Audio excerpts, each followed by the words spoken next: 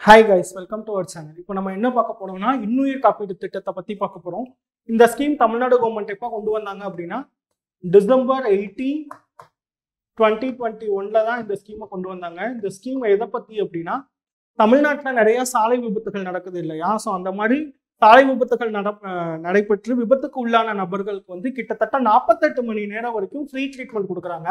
So இதுக்காக government வந்து private ஹாஸ்பிட்டலை மொத்தம் எத்தனை தேர்ந்தெடுத்திருக்காங்கன்னா நானூற்றி எட்டு பிரைவேட் ஹாஸ்பிட்டலும் இரநூத்தி ஒரு கவர்மெண்ட் ஹாஸ்பிட்டலையும் தேர்ந்தெடுத்திருக்காங்க. ஸோ மொத்தம் அப்படின்னா அறுநூத்தி ஒன்பது ஹாஸ்பிட்டல்ஸை வந்து கவர்மெண்ட் வந்து தேர்ந்தெடுத்திருக்காங்க.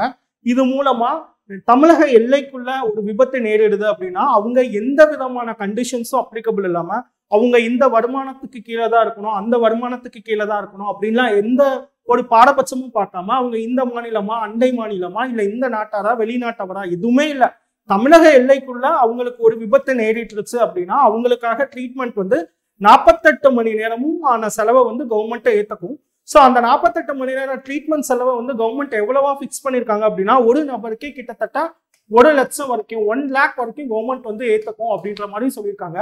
ஸோ இதுக்கப்புறம் அந்த நாற்பத்தெட்டு மணி நேரத்தை அவங்க ஹாஸ்பிட்டலுக்கு கூட்டிகிட்டு போகிறாங்க அவங்க ட்ரீட்மெண்ட் பார்க்குறாங்க பட் இருந்தாலும் இன்னும் அந்த நோயாளிக்கு வந்து இன்னும் உயரிய சிகிச்சை தேவைப்படுது அப்படின்னா கவர்மெண்ட் வந்து அதுக்கு சில கண்டிஷன் சொல்கிறாங்க என்னென்ன கண்டிஷன்ஸ் அப்படின்னா ஒரு மூணு கண்டிஷன் சொல்கிறாங்க ஃபர்ஸ்ட் திங் அவங்க வந்து என்ன சொல்கிறாங்க அப்படின்னா அந்த நபர்கிட்ட தமிழக அரசால் வழங்கப்பட்ட காப்பீட்டு திட்டம் அவங்க கையில் இருந்து அந்த காப்பீட்டு திட்டத்துக்குள்ள உண்டான சிகிச்சை முறையில் அந்த நோயாளிக்கு அதே ட்ரீட்மெண்ட் கொடுத்தாங்க அப்படின்னா அதே ஹாஸ்பிட்டல்ல அந்த திட்டத்தின் கீழே அவங்களுக்கு மேற்கொண்டும் சிகிச்சை வழங்கலாம் அப்படின்னு சொல்லியிருக்காங்க. ரெண்டாவது சப்போஸ் அவங்க கிட்ட அடையாள அட்டை இல்லை அப்படின்னா அவங்கள ஓரளவு ஸ்டெபிலைஸ் பண்ணிட்டு அந்த நாற்பத்தெட்டு நேரத்துக்கு பிறகு நான் சொல்றேன். அந்த நாற்பத்தெட்டு மணி நேரத்துக்கு அப்புறம் கவர்மெண்டோட ஸ்கீம் அவங்க கையில ஐ மீன் அந்த காப்பீடு திட்டம் அவங்க கிட்ட இல்லை அப்படின்னா அவங்களோட விருப்பத்தின் பேர்ல அவங்க என்ன பண்ணுவாங்கன்னா கவர்மெண்ட் ஹாஸ்பிட்டலுக்கு ஷிஃப்ட் பண்ணிடுவாங்க. ஷிஃப்ட் பண்ணி அங்க அவங்களுக்கு ட்ரீட்மெண்ட்ஸ் கொடுப்பாங்க.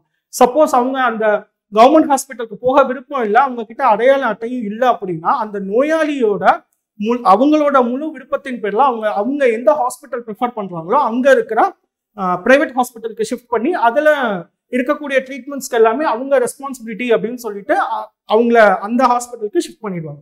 ஸோ இந்த மாதிரி மூணு கண்டிஷன்ஸ் மூலமாக அந்த நாற்பத்தெட்டு மணி நேரத்துக்கு பிறகும் நோயாளிக்கு ட்ரீட்மெண்ட் கொடுக்குறாங்க. இது எதுக்காக கொண்டு வந்திருக்காங்க அப்படின்னா தமிழகத்துல நிறைய சாலை விபத்துகள் நடக்குது இல்லையா? ஸோ சாலை விபத்துகள்னால நிறைய உயிரிழப்பு ஏற்படுது.